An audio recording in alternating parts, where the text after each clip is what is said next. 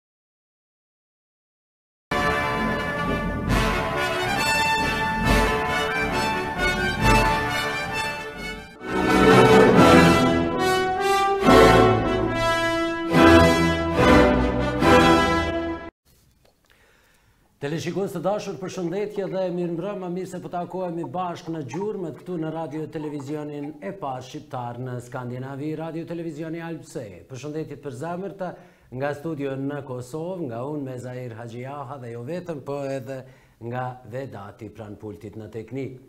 Për të përshëndetur miqtë tanë në Republikën e Kosovës, të cilët janë pjesë e jona nëpërmjet platformës kabllore. Gjithashtu, mërgimtarët tanë i përshëndesim, të cilët janë duke na ndjekur në mbi gjashtëdhjetë kanale në platformën IPTV, gjithashtu edhe gjithë ata që tashmë janë bërë pjesë e jonë në kanalin zyrtar në YouTube rtv Albse Official dhe tek live streaming ku dhe jemi bashkë gjithmonë e çdo herë rtv Albse e faleminderit që jeni kaq të shumtë dhe nga dita në ditë po rriteni në numër E javën do e nisim me një personalitet kosmopolitan. Është një vajzë prizrenase, e cila që nga viti 1998, si shumë shqiptarë apo jo, me familjarët e saj është shpërngullur në Zvicër. Jeta e saj ka qenë e lidhur ngushtë në mes të aktrimit, vallëzimit, folklorit, këngës dhe gjithashtu edhe emisioneve në radio e televizion, emisioneve në radio, ndërkohë që është asistente infermiere në psikiatri zonja dhe zotërinj, do njihemi me portretin e zonjushës Zamira Bytyqi. Zamira, përshëndetje, mirëmbrëma. Uh, mirëmbrëma, përshëndetje, faleminderit për ftesën, i përshëndes të gjithë shikuesit. Faleminderit shumë Zamira në emër të krejt teleshikuesve dhe faleminderit për kohën, marr parasysh që ti deri pak para gjashtës realisht ke qenë në punë, po marr parasysh atë dashurinë e madhe që ke për shqiptarët dhe gjitha aktivitetet e tua janë të lidhura ngushtë. Do të shkojmë kronologjikisht, të njihemi pak me Zamirën, fëmijërinë e saj, jetën e saj mes Prizrenit dhe Lozanës. Më fol pak për Zamirën. Kthehemi pas në vite. Si vajzë e vogël e ndrojtur e qetë, herë pas here rebele. Më fol pak për këtë pjesë, të lutem. Para se të filloj, siç e the edhe ti vetë, Mezahir, Unë isha pothuajse në punë deri në ora pesë, edhe pak ashtu jam, është një lloj virusi që është duke u shetitur, kështu që më ka sulmuar pak edhe zërin edhe jam e mbushur, më vjen keq për shikuesit nëse nëse pak jam ashtu me flamë, si i themi në Kosovë. Atëherë Samira, Si fëmijë ndoshta kam qenë shumë e pavarur. Isha ajo që ëndrroja gjithmonë të jem para skenës, të paraqitem, të luftoj për artin, të mirem me artin dhe lufta e bëri të veten. Unë me prindërit e mi dhe me motrën e me vëllaon e morëm rrugën e emigrimit, më mirë të them, emigruam sepse edhe lufta e bëri të vetën, erdhëm në Lozanë, Ishte vetëm vëllai i madh këtu dhe erdhëm këtu, nuk e dinim gjuhën. Unë isha pothuajse adoleshente, ende s'e kisha prekur adoleshencën. Ishte shumë vështirë, Zvicrën e kisha paramenduar ndryshe, siç shumica mundën ta paramendojnë ndryshe ata që s'kanë qenë asnjëherë. E paramendoja vërtet shumë ndryshe, por kur erdha këtu, thash, a, ah, kjo qenka Zvicra, dhe nuk më la asnjë përshtypje.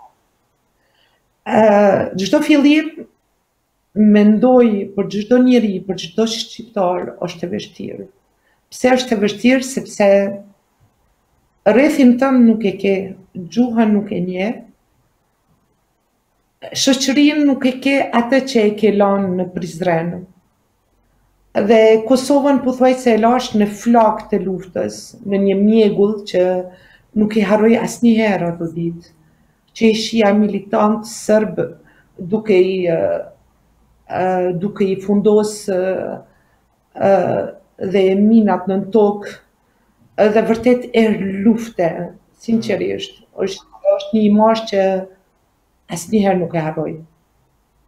Por prap ndoshta mundem të them patëm fatin me thonjëza që erdhëm këtu dhe nuk e përjetuam vërtet atë ë luftën e vërtet siç e kanë përjetuar disa.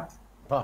Zamira ti, domethënë me shkuarjen tënde, ti e ke patur edhe një peng, jo vetëm ti personalisht, po edhe gjithë ju sepse e kishit edhe Arbenin si ish pjesëtar i UÇK-së, si e keni menaxhuar këtë këtë pjesë? Domethënë, ë ne jemi pesë fëmijë, dakord?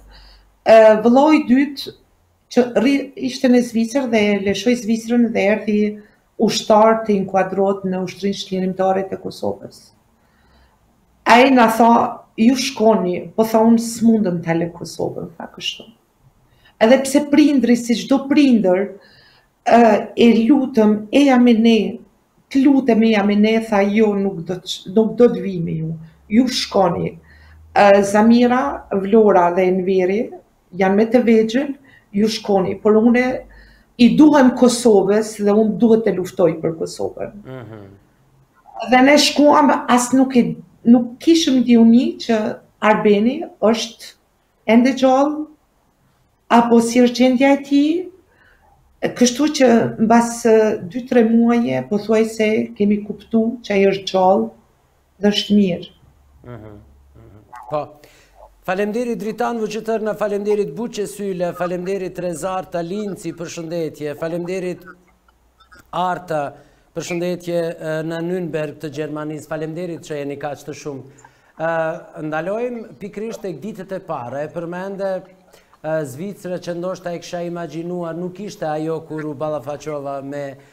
realitetin, cila ka qenë pjesa më e vështirë? Ajo e komunikimit, gjuha, apo ndoshta ai ai miks kulturësh, ë, mentaliteti në Prizren dhe ai që e ke gjetur ndoshta në shoqërinë zvicerane?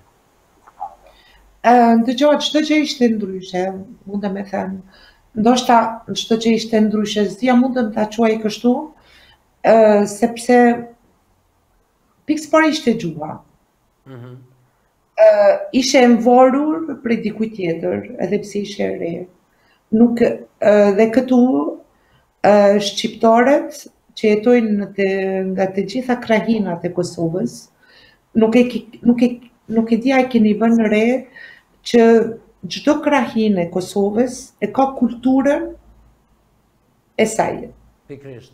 Si për shembull, ju të Rahovecit e keni një kulturë ndryshe, Gjakova ose nëse Gjakova është më afër ose Prishtina janë pak më ndryshe, Deçani janë pak më ndryshe, kupton dhe të them të drejtën, un këtu ndoshta i kam kuptuar ose i kam njohur kulturat e ndryshme të shqiptarëve mm. në përgjithësi. Dhe unë fatmirësisht që e kishim vëllanë të vëllanë e madh këtu Ilirin, dhe ai e luajti rolin e prindrit, na udhëzoi, na tregoi na tregoi ato rrugët nga duhet të shkojmë dhe nga nuk duhet të shkojmë. Për këtë jam mirënjohëse për vërtet për tërë jetën. E kështu që atëherë ishte shkollimi, ishte gjuha, edhe Zvicra si Zvicër, unë them, Zvicra të riedukon. Uh mhm. -huh. N'doshe, mos n'doshe, Zvicra të riedukon. Ok? Uh, sepse gjërat janë ndryshe dhe ti jeton me këtë shtet dhe do ta bësh njëjtë sikur ai që e bëri Kupton? Mhm. Mhm. Kështu që në fillim ka qenë vështirësi, vërtet vështirësi e madhe. Ishim njërët ndër refugjatët e parë që erdhën në Zvicër dhe më kujtohet si sot, kur, sepse vëllau është nëndrejtor në me një, me një spital të njerëzve të moshuar, dhe shkuam ne, ka ardhur familja e Ilirit dhe ta prezentojmë. Dhe kur na panë ata pacienta të gjithë edhe reagun thanë, ah, dhe këta qenkan njëjtë sikur ne. Kupton? Vetëm këtu e mendon, thuash, po si na kanë pa ata, me çfarë imazhi na kanë pa. Por atëherë koha e bëri të vetën, koha kalonte, fillum me u integru, fillum me u mësu dhe çdo herë çdo gjë domethënë shkojti me poshtë dhe nalt, me vështirësi dhe me suksese, prapë me vështirësi, prapë me suksese. Dhe kështu. Fitora nga Kanada, falemderit shumë, thotë e përshëndes zonjën Zamira shumë. Arti Lushi, bravo Zamira Bityqi, Shpend Shukaj përshëndetje juve dhe gjithsesi Zamirës, ju uroj shëndet dhe shumë suksese, falemderit i nderuar. Përshëndetje Mezahir dhe stafit tuaj në Kosovë, përshëndes edhe mysafiren dhe njëkohësisht dua ta falenderoj që na nderoi me pjesëmarrjen e saj. Është eksekutivi, është miku im, drejtori ynë, Bashkim Hoti, të cilin e falenderoj. Ramadan Kutllovci, përshëndetje i nderuar, mirë se ke ardhë. Merita Kafexhiu Kadiri, përshëndetje Kanada. Para se të vazhdoj me pyetjen tjetër, dua një përshëndetje të përzemërt pikërisht për Ilirin, vëllaun tuaj, i cili do të na nderojë me prezencën e tij edhe në gjurmë, është parë jetëshkrimin e tij ditën apo mbrëmjen e mërkurë, ku ne do flasim për shoqërinë kulturo-artistike Ilirët, që po bëjnë një punë fantastike në ruajtjen e folklorit tonë dhe jo vetëm. Një përshëndetje për Zamirën, faleminderit Dritan Vuçitërna faleminderit Merita përshëndetje edhe Kanadës. Zamira, Akademia e Arteve, më fol pak për këtë periudhë. Ne ngaqë edhe jemi rrit bashkë, e kemi patur atë të themi dëshirën e organizimeve te venteve aty në kushte shtëpiake, zgjedhja e misit e këngëtarët më të mire e këto lloj gjëra. Ishte kjo një trompolinë të themi që ti nesër pasnesër do bëhesh o aktore, o pjesë e medies, e ke pas parasysh këtë pjesë? Që një ditë kur unë të bëhem e pavarur, Patjetër, sepse mendoj, unë mendoj që historia e një personi bazohet mu në fëmijërinë e tij, mu në bazën e tij. Nëse ti nuk ke qenë një fëmijë i pavarur, nëse ti nuk ke qenë një fëmijë ose që ke qenë në qendër të vëmendjes ose që ke patur besimin që në fillim në vete, domethënë duhet të nisesh nga baza, unë mendoj. edhe nga statistikat psikologjike. Dhe unë si fëmijë, vërtet kam qenë shumë e pavarur, si fëmijë, sinqerisht. Dhe në Kosovë, ose ndodhte të shkoja te gjyshi vetëm, e merrja busin, nga Prizreni në fshat, vërtet kam qenë shumë e pavarur, apo ndoshta nga ajo që isha vajza mbas dy djemve, dhe pothuajse ndoshta ma kanë dhënë atë atë lirinë dhe gjithmonë e kam patur atë tërheqjen e artit. Por mos të harroj ta ceku që i kam patur shembuj të dy vëllezërit e mi, Ilirin dhe Arbenin, ata që nga nëntë vjeç më kujtohet që edhe plisi Sharrit në kokë, mm -hmm. në televizionin e Prishtinës, në koncerte, edhe sikur e ndiqja edhe unë rrugën e tyre, kupton?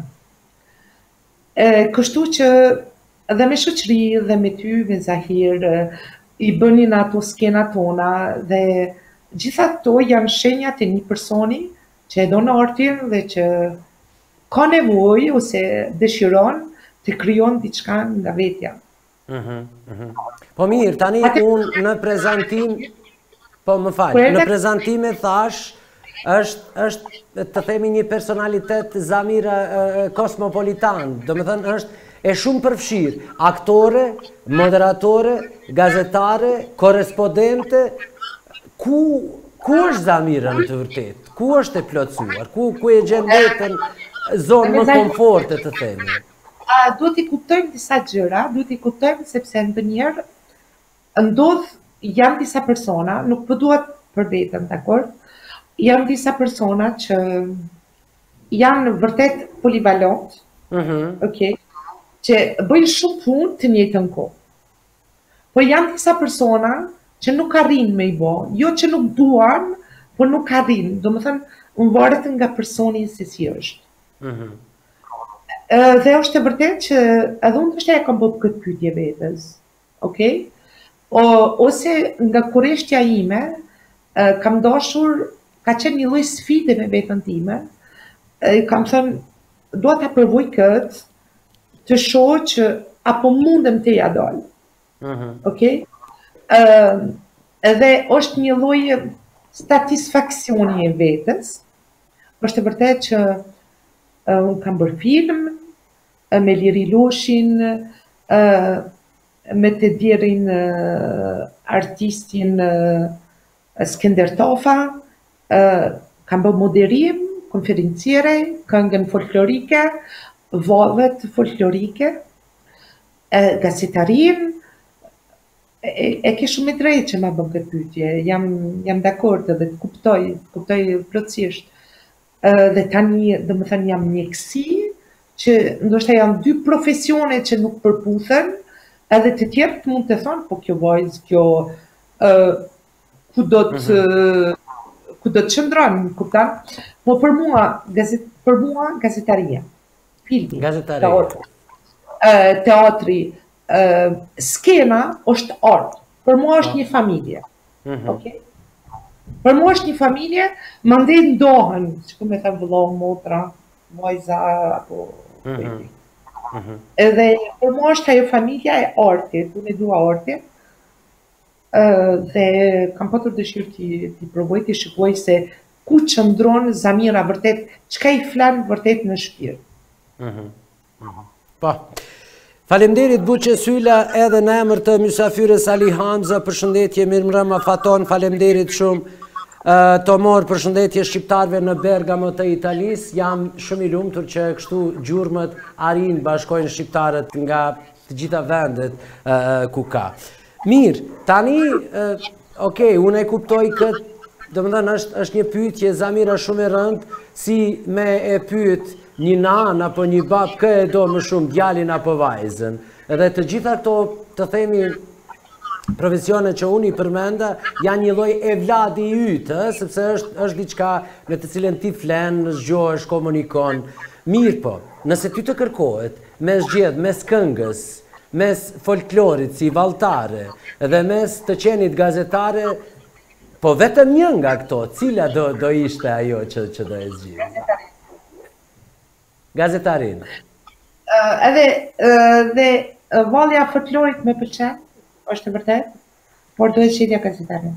Gazetarinë. Po tani shtrohet pyetja, gazetarinë në televizion apo në radio, ë, sepse ti paralelisht të dyja i ke i ke ushtruar me me një zotësi të tmerrshme dhe profesionale. Mhm. Faleminderit. Ëm ehm, Nuk e kam problem, mendoj që nuk e kisha veçuar. Janë dy gjëra ndryshe. Ndonjë është vështirë t'i thuash në radio ose në televizion ose në portal ose në revistë me një gazetë, sepse secila është ndryshe. Kupton? Ëh, i dua që të që të triat dhe kisha pas vështirë t'i, t'i them ndryshe janë. Ato çka ndjen para kamerës është ndryshe nga ajo si çka ndjen para një mikrofonit në radio. Mhm. Mm dhe mu për atë që janë emocione ndryshe. Janë patjetër. Po, dhe nuk kisha, Është është e pamundur t'i, t'i veçosh. Janë ndryshe, mund me thënë që janë ndryshe. Okej. Okay. me ne bashkë nga Danimarka është një super djalosh i cili po na nderon neve. Ai është Fitim Kryeziu i cili po na përshëndet mua e ty bashkë. Ë, përndryshe Fitimin kemi realizu Një super program dhe një super bashkëbisedim me të bashkë dhe kemi diskutu për energjinë elektrike e në veçanti kjo energji e erës ë që merret me ndihmën e mullinjve kështu që ai është ideator i një projekti megaloman atje në Danimarkë dhe urojmë e shpresojmë ta kemi sërish në gjurmët për të na treguar ku jemi dhe dhe si qëndrojnë punët me projektin. Zamira kam edhe një pyetje para se të shkojmë tek blloku publicitar për ta falenderuar Bledi Travel mbështetësin e emisionit tonë. Tani kur jemi tek Lozana, ke qëndruar gjatë gjithë kohës sepse Akademia e Arteve të Bukura në fakt është në Cyrih, të paktën ti i ke përfunduar këto. Ashtu është. Në atë kohë, të them të drejtën, është e vërtetë që ndoshta dhe vitet e bëjnë të vetën, isha më e re, energjia ishte më e madhe, lodhjen nuk e njihsha, kupton? Domethënë, të njëjtën kohë punoja shtatëdhjetë për qind në psikiatri edhe më pas e kisha teatrin plus shkollën. Mm fatkeqësisht, mundem të them fatkeqësisht, Zvicra është një shtet që nuk mundesh të jetosh me artin. Mm -hmm. Sepse artin Zvicra e merr si luks. Në Zvicër duhesh ta kesh patjetër një punë fiks, ok? Kurse artin, aktivitetet e tjera mundesh t'i kesh si hobi. Dhe sepse ndoshta mundet të vjen pyetja po si u fute në mjekësi, si si ndodh që janë dy bota, arti, mjekësia, kupton, janë ndryshe. Iliri vëllai më shihte në mjekësi, më thoshte Zamir, ty të shoh në këtë profesion, duhesh patjetër të hysh. Thashë ok, po e provoj, mbasi që po më thotë disa herë. Dhe në fillim e kisha shumë të vështirë. Thësha, gjithçka ka ndodhur, më kanë thënë, ti nuk je për këtë profesion, duhesh të ndrrosh profesionin. Por, Ne mos të harrojmë sepse edhe populli jonë shqiptar e kemi pak edhe kulturë apo e kemi edhe traditë atë mbikëqyrjen ndaj të tjerëve. Ëh. E kemi vërtet sepse shqiptarët ne njihemi për zemërgjerësi, ëh, për ngrohtësi, për mikpritje. Okej. Ëh. Dhe kështu që profesionin tim, tani i cili është aktual dhe që e punoj çdo ditë, kurse artin e marr si punën e dytë, çdo ditë e më shumë, sa më shumë e zbuloja këtë profesion, e mësoja këtë profesion, çdo ditë e më shumë e doja. Mm -hmm. Okej. Okay. Uh, dhe Dhe kështu që u lidha, sinqerisht vërtet u lidha shumë me këtë profesion. Po duke se unë mendoj zemra e artistit, kur e don artin, asnjëherë nuk do ta lënë. Asnjëherë. Edhe nëse plaket, edhe nëse do ta bënë një pauzë të shkurtër, ai prapë do të kthehet tek arti. Po. Mirë, le të na pret edhe dy sekonda marketingu, kam edhe një pyetje. Tani të jesh femën, të jesh grua e dikujt dhe të jesh pjesë e filmit, i cili herë pas here kërkon edhe ato skena të themi eksplicite. Sa mendon që jemi të pjekur për t'i parë gratë tona se si përqafohen, puthen me aktorë të filmit? Unë mendoj që duhet t'i ndojmë gjanat. Profesioni është profesion, emocionet, ndjenjat janë ndryshe. Janë dy gjana që, do me thënë që ndohen. Unë e di që kultura jonë shqiptore, pak i kemi vështirë t'i akceptojmë këtë. Ok? Po flas të drejtën. Ehm, por, ndoshta edhe mu më ka ra rosti, kur e kam bërë filmin, Ë më kanë pyetur a të pengon Zamirë nëse të duket një pjesë ë një pjesë e e Pak më e zhveshur, po, po. Më e zhveshur. Ë po ta them drejt, në fillim u kompleksova pak, i thashë mm -hmm. se s'isha mësuar, nuk mm -hmm. kuptoj. Po duke biseduar, duke Dhe tek e fundit profesioni mbetet profesion. Po. Dhe duhet të mësohemi për këto me këto gjëra. Unë mendoj që femra në femra shqiptare, femra në përgjithësi, qoftë shqiptare, qoftë një nacionalitet tjetër, ë është shumë e fortë dhe mendoj që është më e fortë se gjinia mashkullore. Beson. Po. Kemi shumë kemi shumë tema për me i prek në pjesën e dytë. Faleminderit Bledi Travel ë kompani kjo e cila kujdeset për udhëtimin sa më të kom, sa më komod dhe të rehatshëm të shqiptarëve drejt vendlindjes. Bloku publicitar pas këtij kthehemi me Zamirën. Qëndroni me ne. Udhëto me Bledi Travel drejt vendlindjes. Bledi Travel ofron udhëtime të shpejta, të sigurta dhe komode me çmime të volitshme, me autobusët super modern të drejtuar nga njerëz të mirëkualifikuar, të sjellshëm me klientët dhe të zotët në punën e tyre. Bledi Travel mban linjën e rregullt çdo javë Nisje çdo të martë nga Shqipëria dhe Kosova drejt Suedisë dhe Danimarkës, nisjet çdo të premte nga Suedia dhe Danimarka drejt Kosovës dhe Shqipërisë, drejt Kosovës në Prishtinë, Mitrovicë, Vushtrri, Lipjan, drejt Shqipërisë, Tiranë, Elbasan, Milot, Kukës. Nisjet bëhen nga këto qytete dhe këto orare Jonshoping, ora dymbëdhjetë e tridhjetë, Boras trembëdhjetë e tridhjetë, Jetebori, katërmbëdhjetë e tridhjetë, Varberg, pesëmbëdhjetë e tridhjetë, Falkenberg, gjashtëmbëdhjetë, Halmstad, gjashtëmbëdhjetë e katërdhjetë, Angelholm, shtatëmbëdhjetë, Landskrona, tetëmbëdhjetë, Malmo, nëntëmbëdhjetë, Kopenhagen, nëntëmbëdhjetë e tridhjetë, Odense, njëzet e një, Frederika, njëzet e dy, Aabenra, njëzet e tre. Gjithashtu, Bledi Travel ofron edhe transportin e gjësendeve të ndryshme si televizora, bicikleta, makina, roba e të tjera. Ju mendoni për destinacionin, siguria dhe komforti është siguria jonë. Bledi Travel, ju mirëpresim.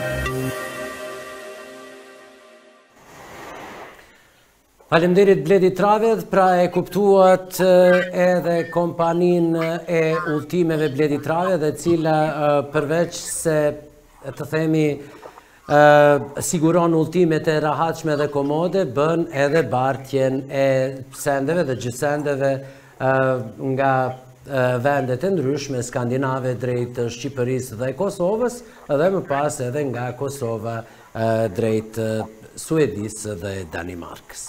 Mirë, jemi në pjesën e dytë të bashkëbisedimit, ku tani do të flasim pak më tepër për atë të themi profesionin, siç e tha edhe e ftuara ime, duhet ta kesh një punë patjetër fikse se s'bën, nëse do të arrish diçka në jetë. një punë e cila po ashtu ka doza arti brenda vetes, asistente e infermierisë apo asistent infermiere në dikasterin e psikiatrisë. Zamira më fol pak për këtë impenjim.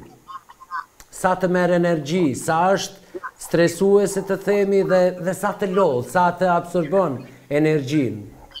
Sepse ky departament është pak i ndjeshëm, ë? Patjetër. Unë mendoj që në momentin kur do të qëndrojmë profesionalë dhe e marrim distancën me pacientët, me problemet, sido që të jemi, ne jemi humanë, mundemi të lidhemi me njerëz. Vështirësia më e madhe që e kam patur ka qenë kur kam shkuar me punuar me fëmijët andikapë. Kjo ka qenë vështirësia më e madhe. Edhe aty kam thënë, i kam thënë vetes, ti nuk je me punu me fëmijët andikap.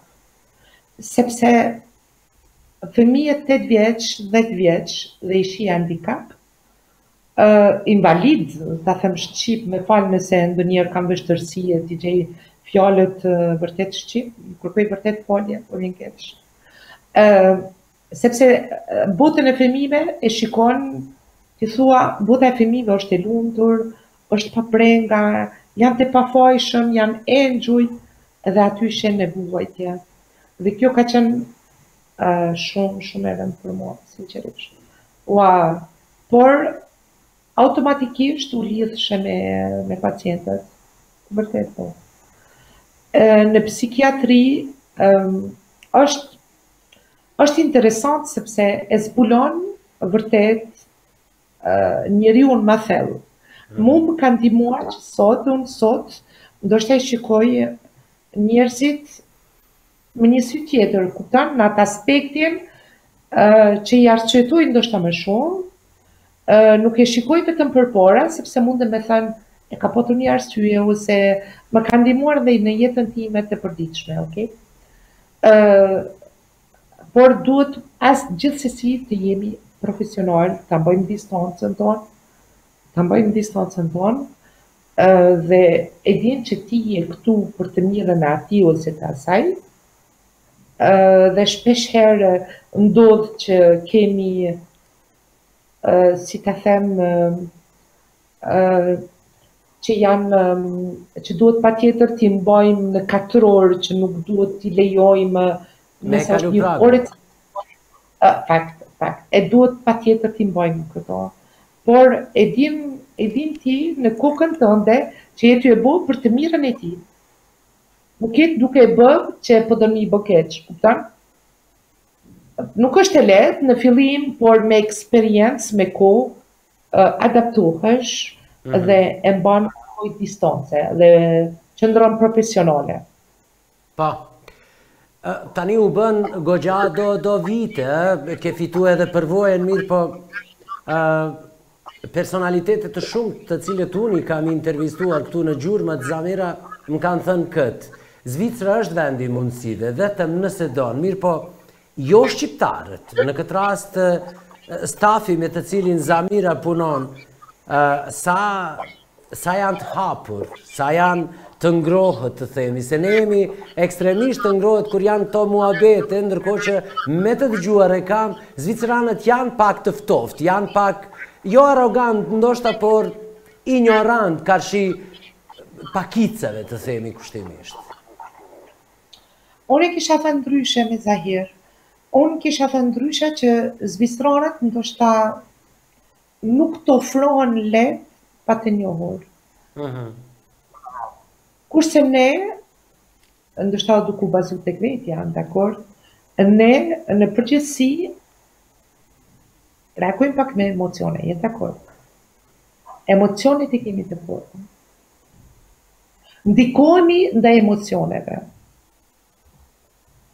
Ë, ata ndoshta e marrin më tepër kohën dhe e tregojnë këtë ftohtësinë si e quajte ti. Ë, por nga eksperienca që i kam mikesha zvicerane, ose ka kaluar kohë derisa të kanë pranuar. Por në momentin kur të pranojnë, mendoj që që janë plotësisht me ty ë dhe janë të hapur, janë drejt përsëdrejti, por ndoshta ndonjëherë ndodh që që kanë një lloj ë ndoshta ndonjëherë kanë vështirësi t'i thojnë gjërat troç. Ë por kjo mendoj që në çdo popull mundemi të gjejmë njerëz të tillë. Mendoj. Nuk është nuk është e thëna vetëm zviceranët. Po. Tani unë kam një dhuratë për shqiptarët e mi të dashur. Është ditën tani.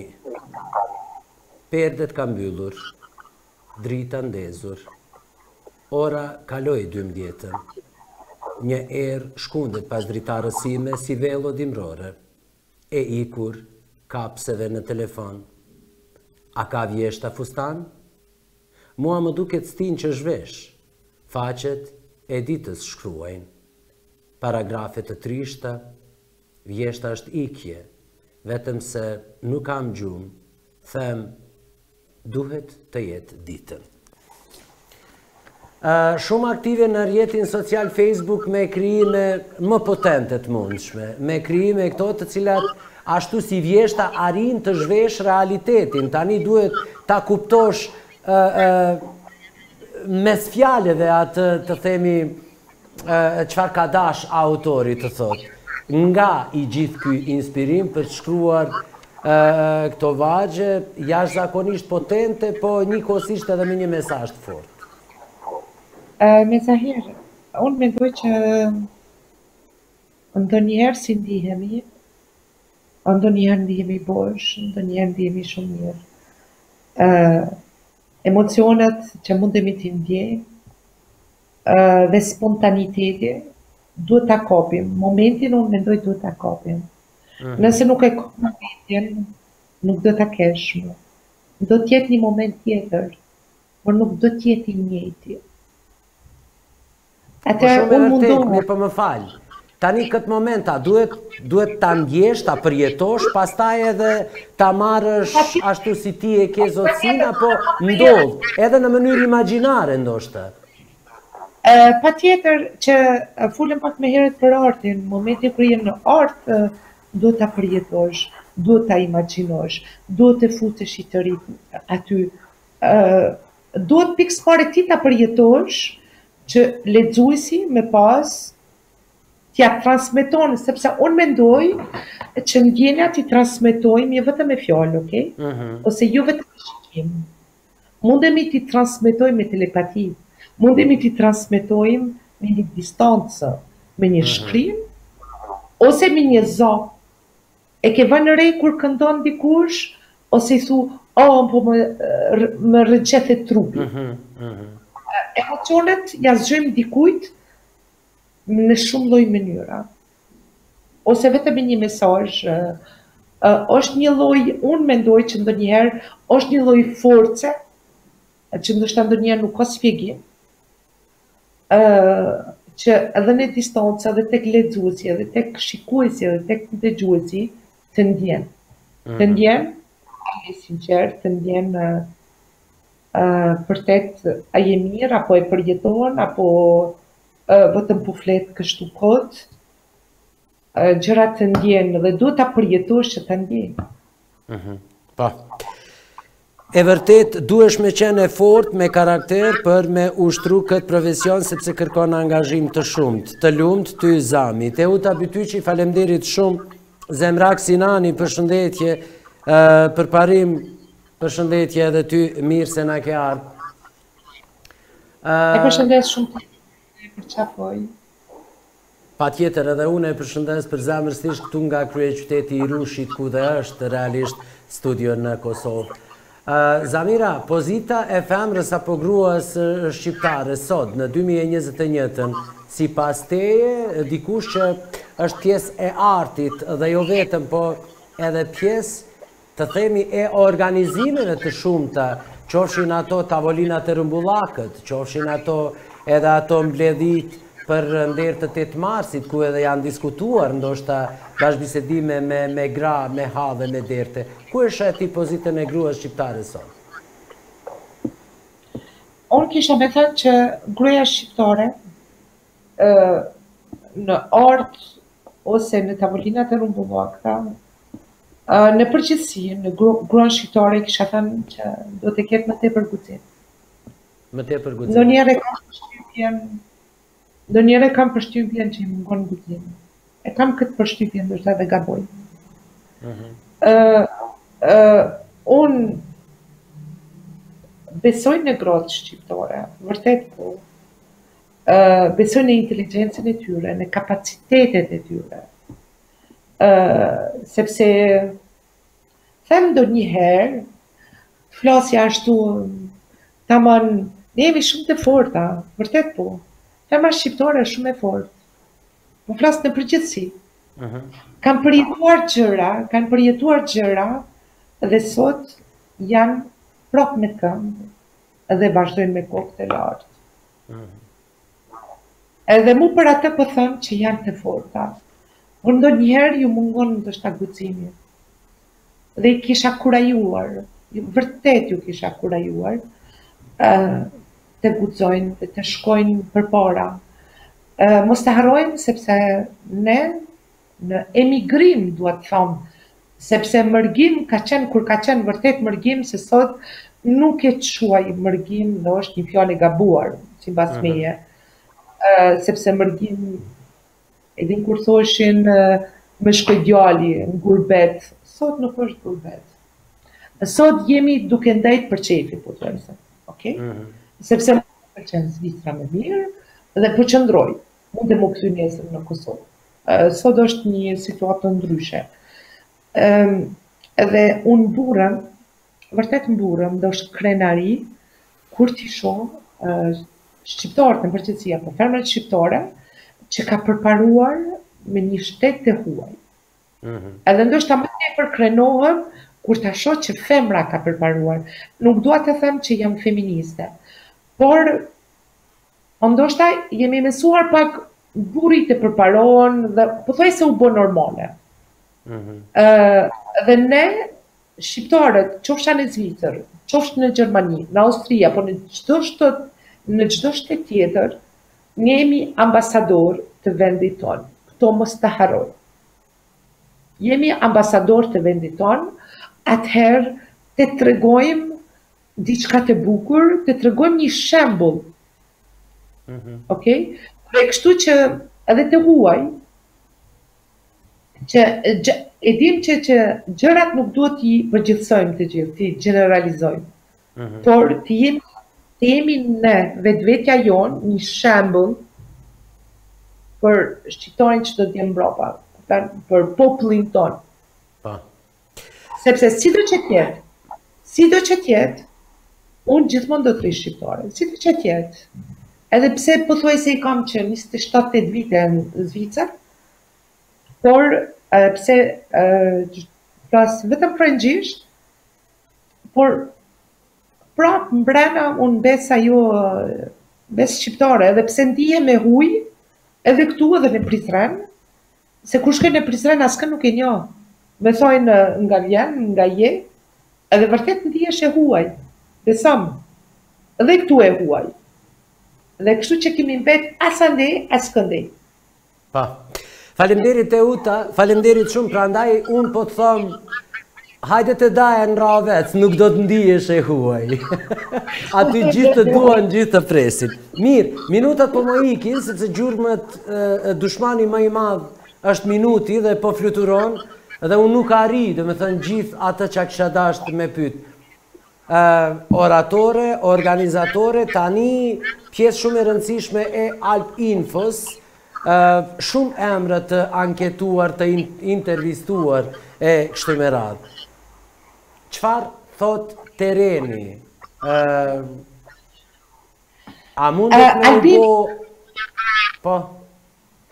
Albinfo është një vërtet është njëra ndër gazetat, jo që unë jam aty tek Albinfo nuk është nuk është ajo që po i hudhi lule mm -hmm. vendit ku punon. Jo, sinqerisht jo. Nuk je ti që e flet këtë e kështu. Por mbetet njëra ndër gazetat më serioze, më e mirë në Zvicër. Këtë e them me plot gojën. Pse e them? Që njëmbëdhjetë vite është e rregullt. Revistat ndodhen të në të gjitha vendet, pothuajse edhe nëpër aeroplana. Bëhet në tre gjuhë, shqip, frëngjisht edhe gjermanisht. Revista e ka, nuk po i bëj publicitet, dakor? Nuk po, mm -hmm. sinqerisht mm -hmm. jo. E qartë. Ska nevojë. Okej. Okay. Kualiteti i gazetës si revistë është shumë i mirë, sepse është edhe me rëndësi, sepse kur lexuesi ta merr revistën në dorë, është me rëndësi kur ta prek, kur ta shfleton, pa tjetër, pa tjetër, që me të dhënë me marr atë revistë. Portalin në që njëmbëdhjetë vite funksionon me drejtorin Sevdail Sevdailin dhe kështu që është i rregullt dhe i përfaqëson shqiptarët në Zvicër dhe në të gjitha vendet e tjera të emigrimit dhe flet për sukseset e tyre, për integrimin e tyre dhe mendoj vërtet është një gazetë shumë serioze. Jo rastisht ta bëra këtë pyetje Zamira, a është e rrezikuar gjuha shqipe në në Zvicër? Po flas tek prindërit e rinj, ëh, se unë, nga këndvështrimi im, kam përshtypjen që ekziston një lloj pasiviteti, një lloj mosinteresimi i prindërve shqiptarë që fëmijët e tyre ë t'i përcjellin në shkollat, të themi, në mësimin plotësues në gjuhën e nënës. Ndoshta në disa, nuk unë prap nuk i përgjithësoj, por është një është një rrezik. Mund me të thënë që është një rrezik. Është një rrezik. Ë dhe pse ja do ta kesh Ilirin të mërkurën siç e thekse ti? Po, me kismet. Ë ai i gjori me ansamblin duke vrapuar Çdo të diele tetë orë i kalon në ushtrime vetëm e vetëm kundër asimilimit të fëmijëve shqiptarë. Dhe pa asnjë dhe pa asnjë sponsor, pa asnjë ndihmë që shumë herë ka ndodhur nëpër koncertet e ndryshme, vetëm ne e kemi qit paret nga xhepi ynë. Beso. Beso. E vetëm e vetëm për kulturën shqiptare. Po pra, për këtë edhe po flas. Po, dhe pa asnjë fitim, pa asnjë fitim, besom. Besom. Kam dëgjuar unë nga shumë të cilët kanë thënë pikërisht Shoqëria Kulturo-Artistike Ilirët është Të themi shkëndija e vetme e cila e mban, hajde të themi folklorin gjallë atje. Zamira kam edhe një pyetje. Ë tani ekstremisht e, e suksesshme në gjitha fushat kam përshtypjen që vetëm një anë të ka mbet mangu, politika. E shef veten në një të ardhme si politikane apo si pjesë e politikës? Ë mendoj që jo, mendoj që jo. Janë janë dy tema që unë nuk i dua. Edhe nuk kam dëshirë asnjëherë me u fut në ato tema. Ato dy tema janë politika dhe religjioni. Janë dy tema që nuk i kam dëshirë. Secilit ia respektoj anën e politikës dhe fesë, religjionit, mendoj që jo, Jo. Jo. Jo. Nuk e nuk e shoh veten, nuk jo. Jo. Jam jam shumë e plot, jam shumë e sinqert që të futem në politikë. Po në rast se, tani zakonisht kjo pjesa e politikës e sheh dikush ndoshta këtë bashkëbisedimin tonë në Gjurmët dhe thotë, okej, Zamira, Na jemi nga Qeveria e Republikës Kosovës dhe duam departamentin e nuk e di diasporës ti ta menaxhosh, na duhet një femën potente, një grua e zoja siç je ti, e kemi Vjosën na duhet edhe një Zamira. Do mund t'i thoje jo sepse po flasim për mirëqenien e popullit a? Ëh. Nuk besoj i lëgjë, jo. sinqerisht. Nuk, nuk besoj, nuk... Nuk, nuk do të mjaftonte as koha të, të mirrem edhe me një gjë plus, besom që jo. Mm -hmm. Mm -hmm. Pa. Besom që jo. Se e kam punën, i kam gjëra tjera, e, e kam vajzën e njën, mm -hmm. jam një nanë me, me të dhe kështu që nuk me premton koha ti të ipe më. Pa. Sepse o ipe më të e lë. E, po të lumt kish pas Prirje për këtë ide shumë e mirë. Teuta, po tani ne njihemi, jemi rritur bashkë me të njëjtën bukë. Pytja e fundit, Zamire, se më ikën minutët, a ka ndonjë ëndërr që e ke në sirtar dhe që me mëzi e pret kalimin të themi të, të, Kësaj pandemie, këtij mikut të padukshëm që ti të merresh me këtë ëndërr? Ah, e kam vetëm një ëndërr. Hajde. Që të bëhemi Shqipëri e madhe. Që të bëhemi Shqipëri e madhe. Edhe mos vdeksha pa pa u bashku Kosova me Shqipërinë të jemi një Shqipëri e madhe. Të vetmen ëndërr e kam. gjer tani. Unë gjithmonë e kam thënë, njerëzit e mëdhenj kështu janë, si ti, sepse ata nuk mendojnë, nuk e di për iPhone trembëdhjetëshin, pesëmbëdhjetëshin apo për Samsung-un, ata mendojnë për diçka që na përket të gjithë neve dhe dhe unë i kujtoj pikërisht në këtë sekond fjalët e të madhit Isë Boletini, unë nuk jam mirë kur nuk është mirë Shqipnia. Dhe mos vdekshim asnjë nga ne Pa e provuar këtë ndjesinë, ë, që, që të bashkohet kjo shqip, shqip, shqiptari etnike, të themi. Etnike, fakt. Po. Zamira, për fund, na shkun 60 minuta, cili mesazh për miqtë e Radio Televizionit Alpsat dhe për shqiptarët e shumë që janë duke na ndjekur? Kisha dhënë një mesazh për um, për çdo shqiptar që jeton në vendin e huaj, Bëhu shembull i mirë për popullin tënd. Mhm. Bëhu shembull i mirë për popullin tënd. Bëhu ambasador i mirë. Po. Femra më me kulturë që kam njohur, respekte, Blerina Emra. Ada.